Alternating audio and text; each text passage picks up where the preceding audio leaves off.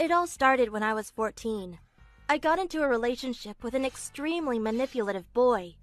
He convinced me that if I got pregnant, he would stop cheating on me and my mom would finally sober up.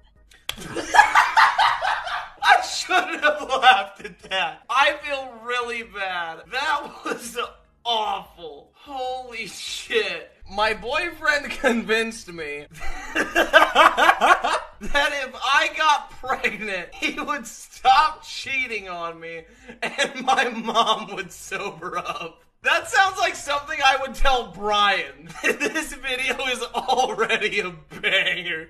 I knew it was stupid to believe him. And when I showed him my positive pregnancy test, he started laughing so hard.